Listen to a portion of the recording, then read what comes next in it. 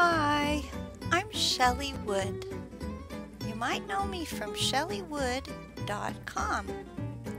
This is my tiny sewing room where I make doll clothes sewing videos.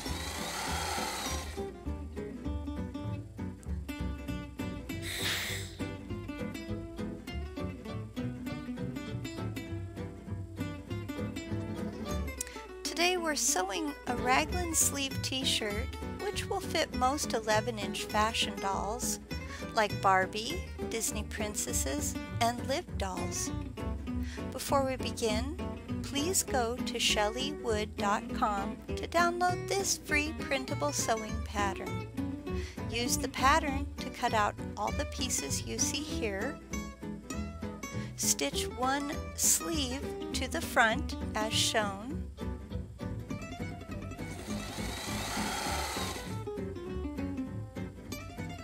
stitch the other sleeve to the front as well and you can use needle and thread or a sewing machine. Now the front should look like this. Here it is from the other side, what we call the wrong side or the stitched on side. Attach one of the backs to a sleeve. Now you need to keep right sides together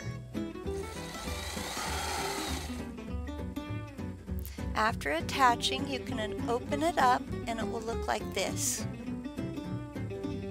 Attach the other back to the other sleeve. Again, you want to keep your right sides together.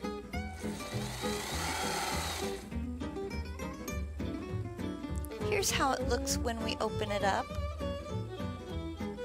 Hem both sleeves. I usually use a whip stitch for this, Need help with the whip stitch? I have a tutorial for that. There's a link to my whip stitch tutorial in the description below this video on YouTube. Fold the backs down so the sides are together. Stitch from the underarm to the bottom of the shirt. Do this on both sides and again you can hand stitch or use your sewing machine. Hem both closure areas with a double fold hem and use a double fold hem at the bottom of it too, but notice what it says in purple at the top. I used bias tape for this collar, but if you cut a collar from jersey fabric, you'll want to wait to hem the rest of the shirt until after we're done with the collar.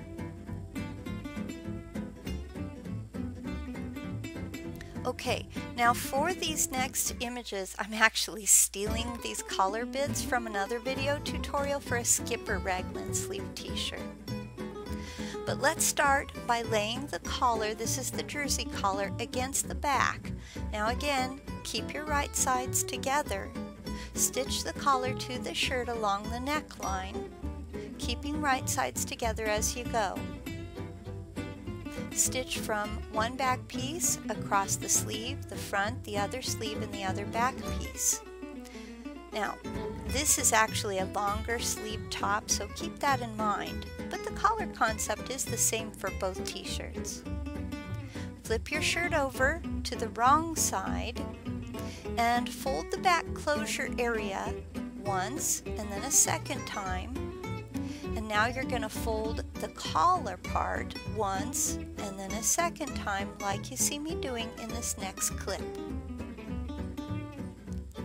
So here's our back closure area. We fold it once. We fold it a second time. And then with the collar, you're going to fold it once and a second time. After you fold it the second time, you're ready to start your whip stitch.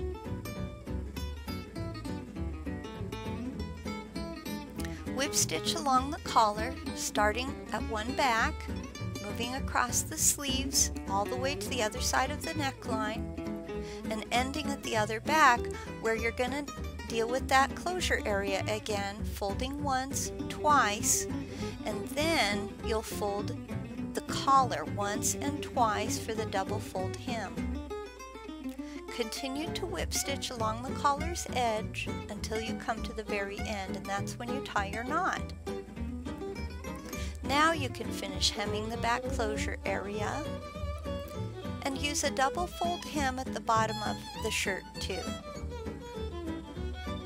Invert your garment. That's what I'm doing here.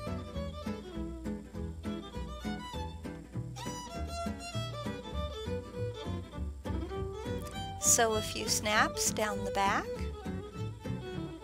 Now you're ready to try it on your doll.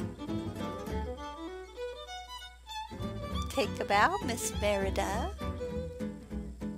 For more free printable sewing patterns to fit dolls of many shapes and all different sizes, remember to visit my website, chellywood.com.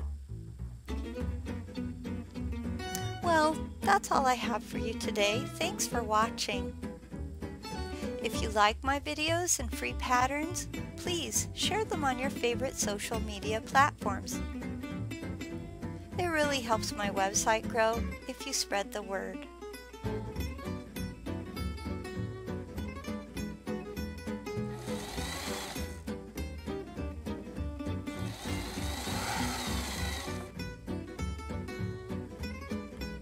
Goodbye.